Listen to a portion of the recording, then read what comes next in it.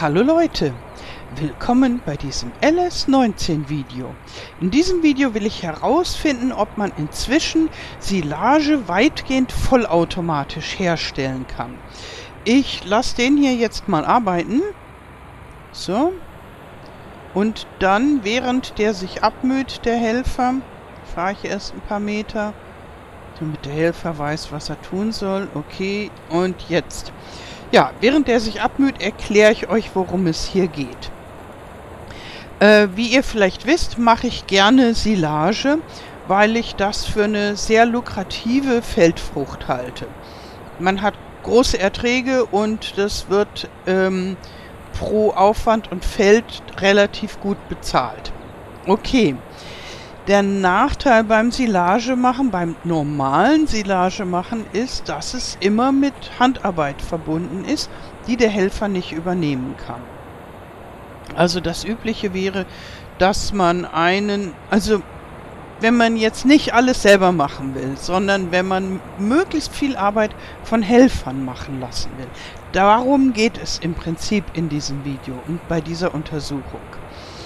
Und also das Normale wäre, dass man einen Helfer mähen lässt und dann fährt ein Helfer nochmal drüber und schwadet das Ganze. Und dann darf man selber mit einem Ladewagen oder einer Ballenpresse hingehen und diesen Schwad abfahren und das Gras dann letztlich ernten und es dann hm, ja, zum Silage machen, fertig machen, entweder in einem Fahrsilo, was noch mehr Arbeit macht, oder in einem Fermenter-Hochsilo, was deutlich weniger Arbeit macht. Oder wenn man halt Silageballen gepresst hat, dann hat man schon Silage, die man dann nur noch einsammeln muss. Aber man hat halt beim Ballenpressen viel Arbeit. Und ich habe mir schon vor einer Weile eine Methode ausgedacht, wo der Helfer zumindest mh, hm, einen Teil der Arbeit vollautomatisch machen kann. Also zumindest sagen wir vom Grasmähen bis zum Gras in irgendeinem Behälter. Und zwar mache ich das ja gerne so. Da habe ich hier... So, ich werfe den auch mal an. Nein, ausklappen, anwerfen. So. Damit ihr seht, was ich meine, wenn ihr das nicht kennt. Also das mache ich jetzt hier selber. Da wird dann in einem Arbeitsgang gemäht und das Gras kommt in dem Ladewagen an. Und wenn man das auf einem Grasfeld macht, ich bin jetzt gerade neben einem Feld, aber auf einem Grasfeld kann das auch ein Helfer machen. Der mäht und lädt ein, dann so lange, bis der Ladewagen voll ist. Aber wenn der Ladewagen voll ist, merkt er das nicht. Dann mäht der einfach weiter und weiter und wenn man nicht rechtzeitig genug geschaut hat, dann hat man am Ende äh, ja, einen Haufen frisch gemähtes Gras, das da rumliegt und dann doch von Hand eingesammelt werden muss. Also selber, ohne Helfer meine ich, mit von Hand. Und ja, das habe ich eine ganze Weile äh, praktiziert in der Mercury Farm. Aber ich habe festgestellt, dass wenn man noch viele andere Felder hat, dann ist das nicht sehr praktikabel, weil ich nämlich meistens nicht mitkriege, wenn der Ladewagen voll ist. Ich gucke einfach nicht oft genug nach. Da habe ich jetzt ziemlich entnervt diese Methode aufgegeben und wollte sie durch was anderes ersetzen.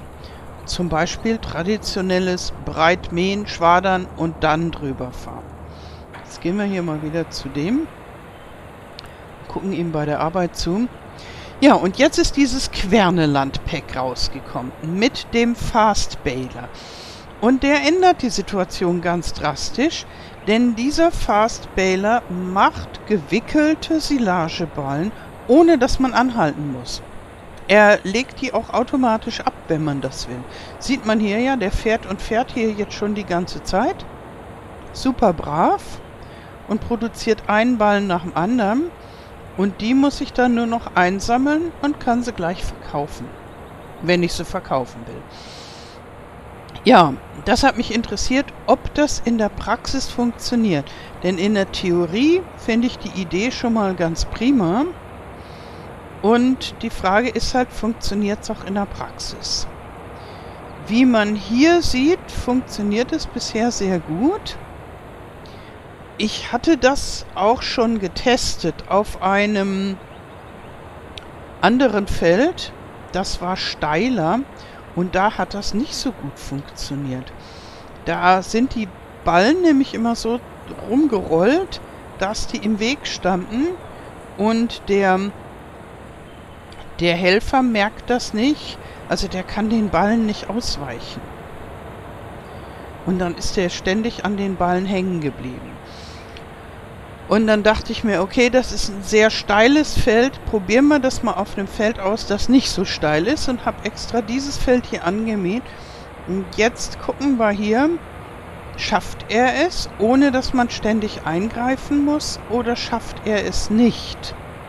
Bisher läuft es perfekt. Und ich habe da neben auch schon einen Ballenwagen parat gelegt wenn man mit diesem Ballenwagen dann immer ordentlich hinterher sammelt, dann ist die Wahrscheinlichkeit natürlich auch gering, dass er sich da fest äh, frisst. Bisher bleiben die alle schön liegen, die Ballen, und er stolpert über keinen der Ballen. Ja, wenn das weiter so läuft, dann würde ich zumindest sagen, auf einigen Feldern kann man damit perfekt Silage produzieren. Macht alles der Helfer hier. Ich sitze hier nur ganz faul und quatsche. Ja, ich werde jetzt mal hier ein paar von den Ballen einsammeln. Und dann lasse ich den einfach mal weiterlaufen und dann sehen wir, ob er das ganze Feld ohne Eingreifen schafft oder ob er sich doch, da wo es steiler ist, ähm, irgendwie an auf Ballen draufsetzt. Aber diese hier sammle ich schon mal ein. So, das muss man natürlich sowieso machen. Das ist klar. Das, ähm, da habe ich jetzt noch keinen automatisierten Weg für gefunden. Für das Einsammeln der Ballen. Aber mit diesem Ballenwagen von dem Anderson Pack da geht das ganz hervorragend. Dies Anderson Pack habe ich mir ja extra wegen dieses Ballenwagens gekauft, der 24 Rundballen äh, verkraftet. Und das ist schon ein tolles Gerät. So. Und ebenso finde ich diesen Fast Baler ein sehr arbeitserleichterndes Gerät. Also so oder so, auch wenn er das jetzt hier nicht durchgehend schafft, ist er auch zum selber Ballen abfahren, also Ballen pressen, sowieso schon toll, weil man nicht ständig anhalten muss. Aber es sieht jetzt auch gut aus für den Betrieb mit Helfer. So.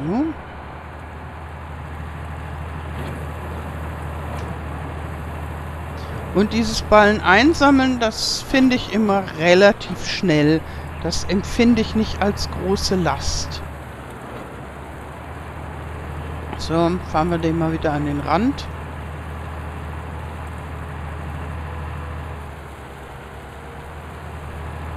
Und dann lasse ich den einfach mal weiterarbeiten. entweder, wenn er sich ähm, fest frisst, hier unser Ballenproduzent, oder wenn er fertig ist, melde ich mich wieder.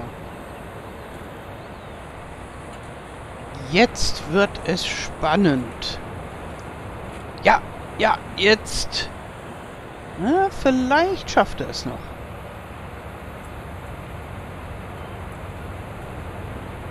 Also problematisch ist es, wenn er so einen Ballen am Ende einer der Strecke ablegt weil dann klappt das manchmal mit den Wänden nicht.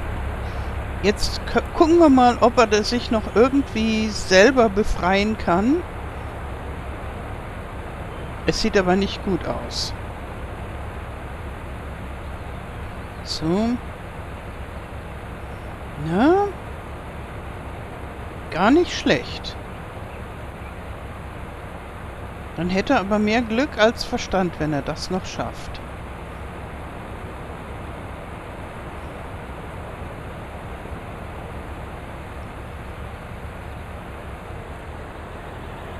Ah ja, er hat die Arbeit erfolgreich beendet. Ja, sehr gut, sehr gut, mein Lieber.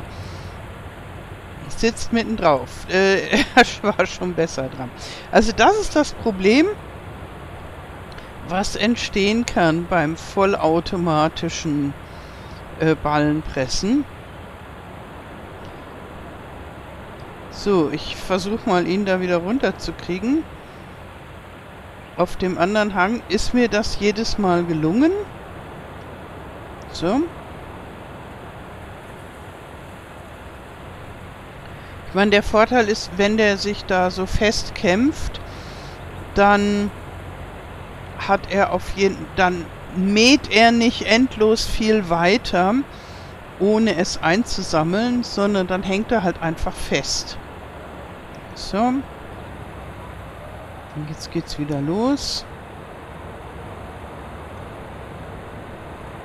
Aber ansonsten bin ich bisher eigentlich recht zufrieden, wie er das hier geschafft hat. Ich sammle vielleicht, obwohl, nee, die lasse ich ruhig da mal liegen. Mal gucken, ob er da beim nächsten Wenden jetzt ähm, wieder Probleme hat bei denen. Ich meine, immerhin hat er schon fast das halbe Feld geschafft ohne Probleme. Gut, ich lasse ihn jetzt einfach mal weitermachen. So, der Helfer ist jetzt fertig mit dem Feld. Was er hier jetzt noch für eine merkwürdige Ehrenrunde fährt, weiß ich nicht. Weil er ist eigentlich fertig, aber nun gut. Er hat es insgesamt ganz brav geschafft, würde ich sagen. Jetzt entlassen wir ihn mal. So, einmal musste ich noch eingreifen. Und für meinen persönlichen Geschmack ist es akzeptabel, bei diesem Feld zweimal eingreifen zu müssen. Man kriegt dann ja auch eine Warnmeldung, dass er blockiert wird und kann dann dahin springen und ihm dann wieder von dem Ballen runterhelfen. Und ich denke mal, ich werde das in meinen Let's Plays zumindest teilweise so ausprobieren, ob sich das in der Praxis bewährt oder doch zu nervig ist.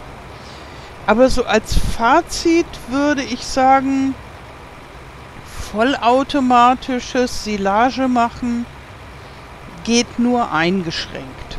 Nicht äh, zuverlässig, so dass man sich einfach darauf verlassen kann, dass der einmal anfängt und am Schluss dann alles in Ballen verwandelt hat, sondern man muss eventuell an, ähm, eingreifen.